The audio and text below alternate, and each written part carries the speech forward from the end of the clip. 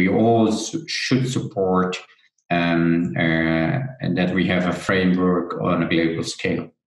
So driven by UN uh, probably, yeah, so that we have a common understanding where are the, the borders uh, to to use AI and where not.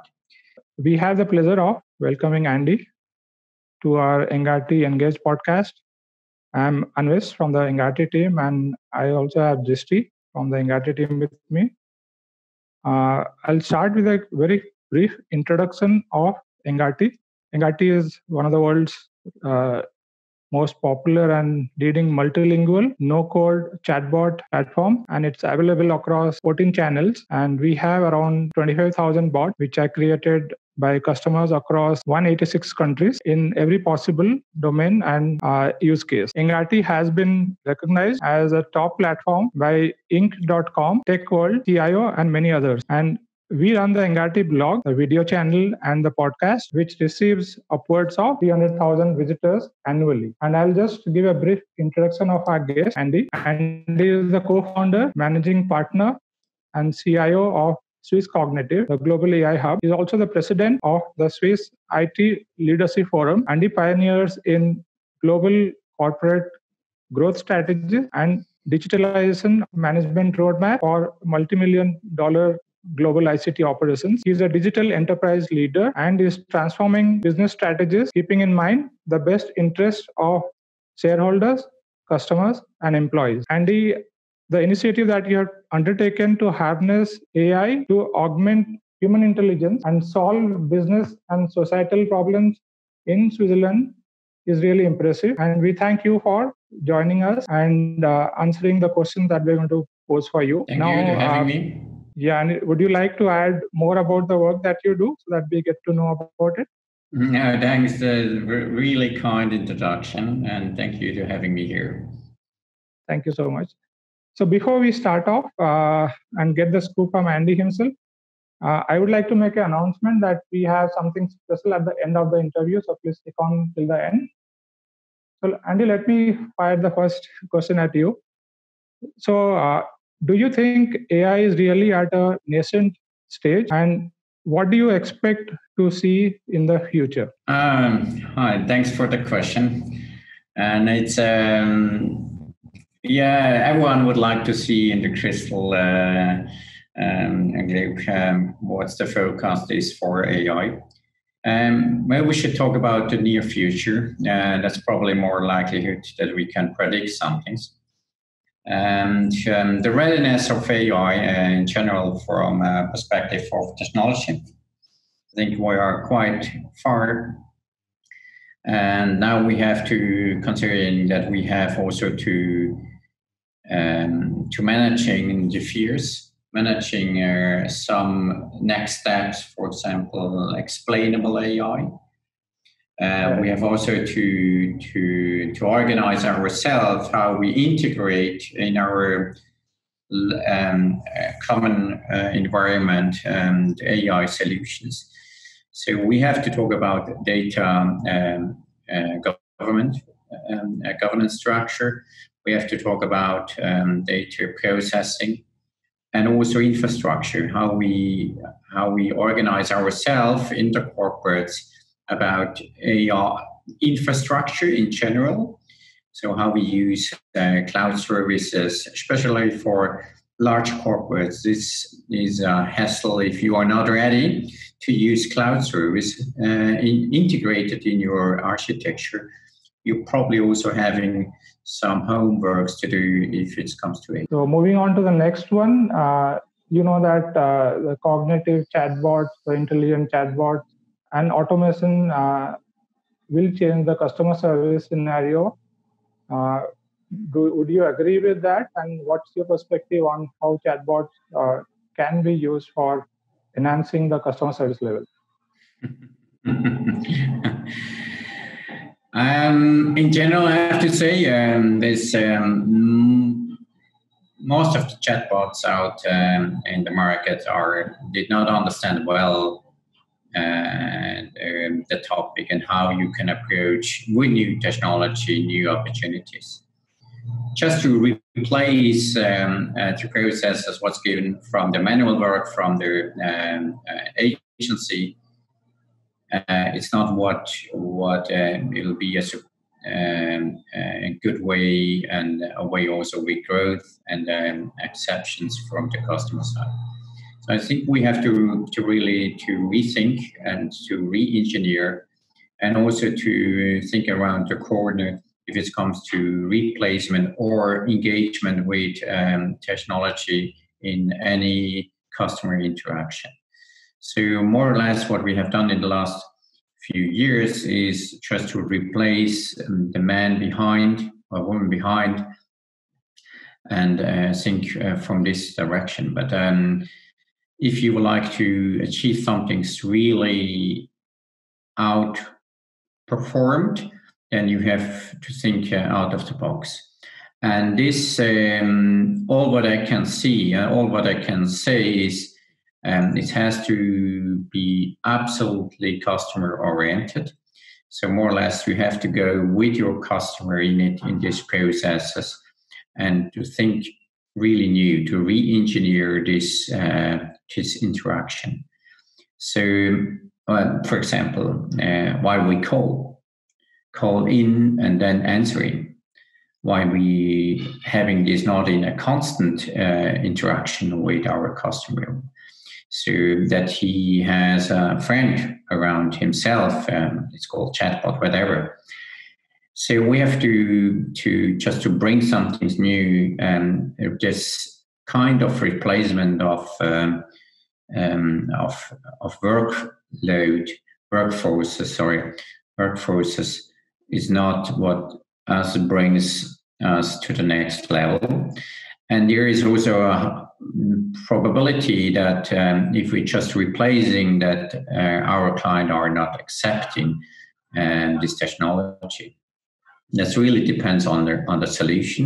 It depends on but also on um, which additional service that we have for example, I'm um, now um, a small and mid-sized manager uh, from a mid-sized company, and I would like to have my my bank, um, especially in the night, if I'm working for the for the supporting uh, uh, workload, that I have access uh, to my bank, uh, or at least I can could ask, ask some question. And that's not happening, as you know. And um, so it would be nice to have um, something in place that you can really talk to each other and um, having at least some answers uh, and also answers that not generally uh, but that I can also search in a Q&A. Uh, it's really it's really a match to your uh, personality, to your case, to your accounts, to your processes. So it has to be transactional at that. And that's not uh, so easy to do, as you know. Uh, this transactional based chatbot is something that all the customer out there would like to have it, just to, to have an answer because I ordered something and, um, and then probably it's around this order and uh, why I call in and not and give all the information till I do uh, the chatbot themselves recognize oh that's an order and so on. And so on. Absolutely. Thank you. So moving on to the third question, uh, a lot of startups are doing really interesting and deep uh, research and trying to leverage AI. How do you think the startups uh, can benefit from applying it to the digital world? Um, I, I, mean, in general, um, uh, startups are great for the for the uh, economy, great for ecosystem. It's a kind of um, extended workbench of all the large corporates in in terms of having innovation in the ecosystem themselves. So startups is uh, pushing innovation um, at its best, and um, that's just by by definition. And um, also by definition, it's a, a kind of risky intervention in the market with, with venture capital.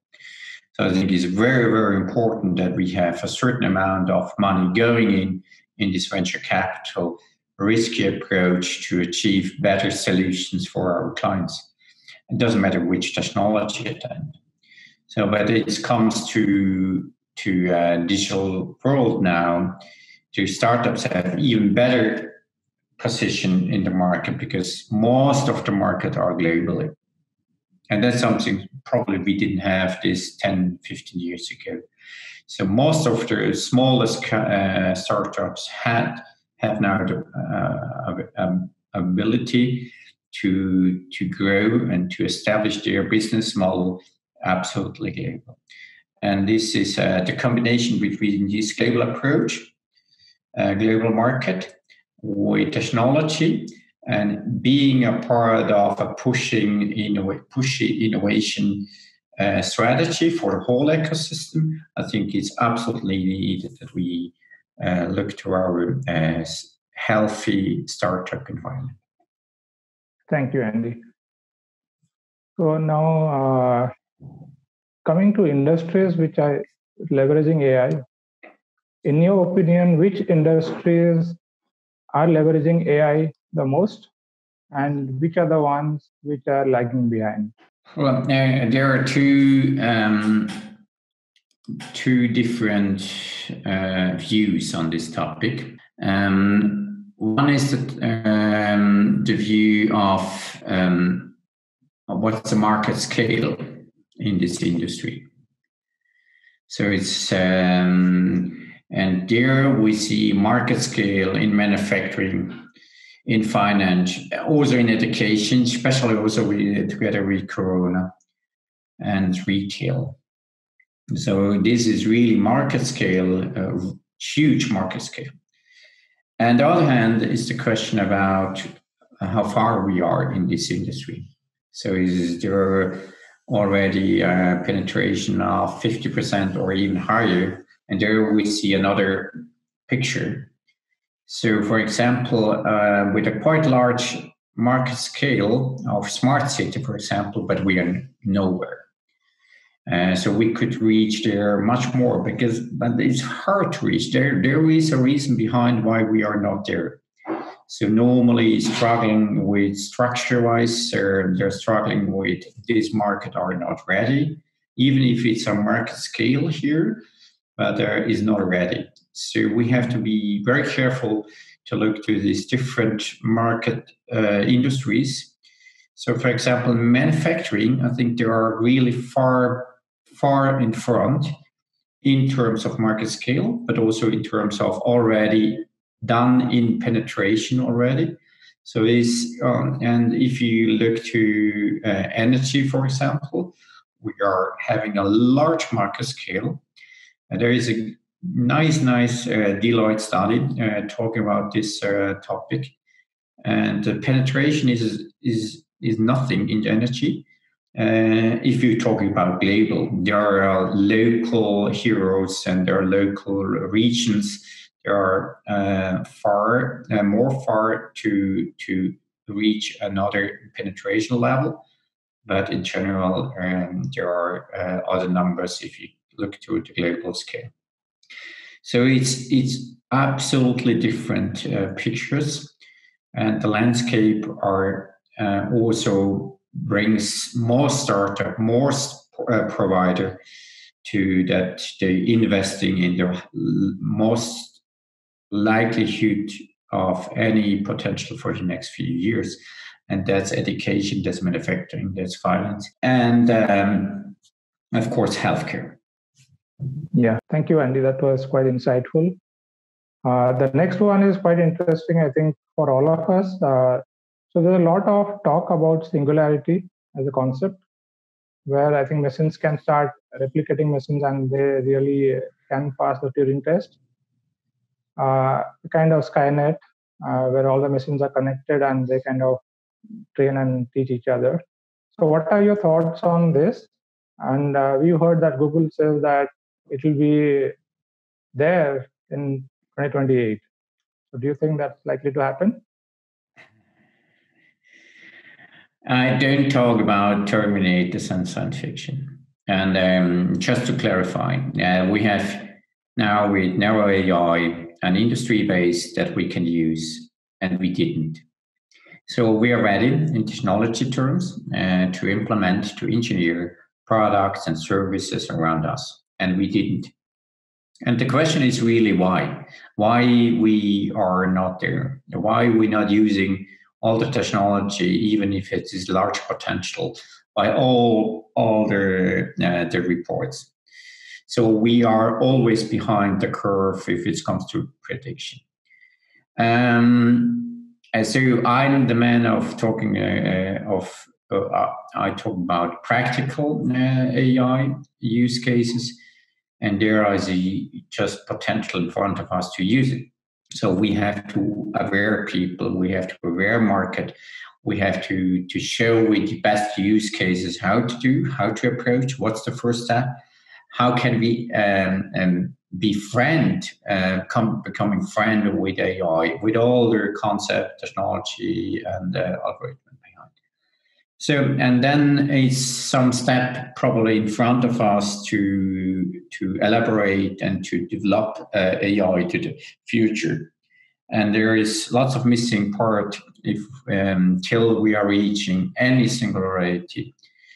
Um, and one missing part is really how to to navigate um, with this new possibility of any kind of near to singularity technology in terms of ethical question, how we do with society. And um, as I'm not an expert there, I stop here because um, this has to be clarified. I'm an engineer and I was teach to really to explore and engineer things that I can believe with my heart and want my ethical principles to um, to, to, support only uh, solutions in these directions.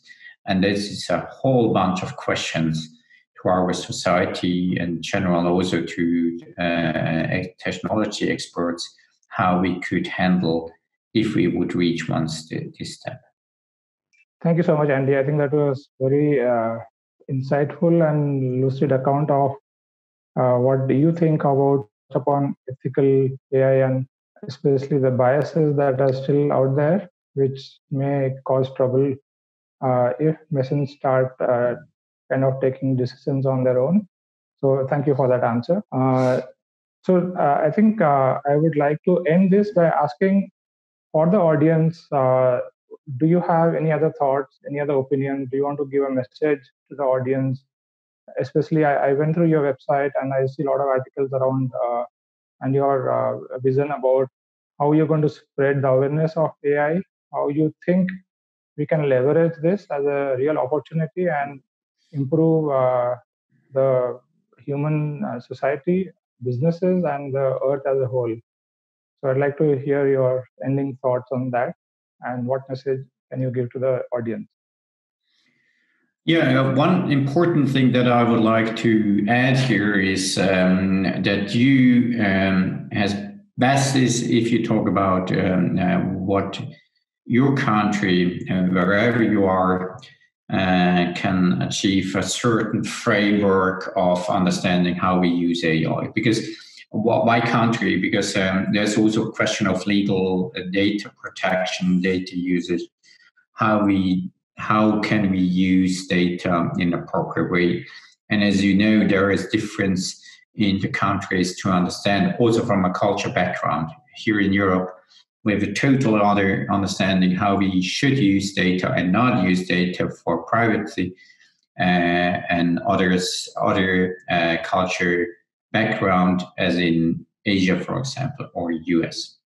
So it's really important to understand this also on a country base. And all what you can do there is just opening the participatory uh, platform that everyone can engage with this um, topic, and you can elaborate your uh, your own story and journey. The second is, and what I'd like to mention is that we all should support um, uh, and that we have a framework on a global scale. So driven by UN, uh, probably, so that we have a common understanding where are the, the borders uh, to to use AI and where not. So it's not given uh, by any law or God uh, to to have this. So we have to elaborate. Otherwise, we would have a El Dorado for too many large corporates as we have already with Google, Facebook, and Amazon and Microsoft. So we uh, there's no blame about to them, but we have to understand where we like to go to also guide them to the right direction. So AI uh, is here to stay. AI is unstoppable, but uh, if we talk about business and uh, growth in the market for AI, we should be aware that we have to be careful and guide them to the right direction in all the markets you're, uh, where you are in to establish the best benefit and the best framework to all and uh, all means to our society. That's great, Andy, and thank you so much for spending time with us and giving us your valuable insight, uh, insights, and also answering some of the questions that all of us have, but uh, don't really get a clear answer. And thank you for giving us time on this Monday morning. And your insights were really valuable. And I know the audience is going to love this interview. And uh, for the rest of the folks, if you have stuck around for this long, we are excited to announce that we have an ebook called Evolution of Customer Experience, which is out and it will be available for download. And uh, we'll publish the link uh, for you to download that. And uh, we'll be back with a new episode uh, with a brand new expert and uh, get their thoughts and opinions on the most happening things in the world. And so stay tuned to that and uh, we'll see you around for the next one. Thank you, uh, Andy, and uh, thank you so much. We really appreciate you giving us this time and talking to us. Yeah. Have a good time. Stay home. Stay safe.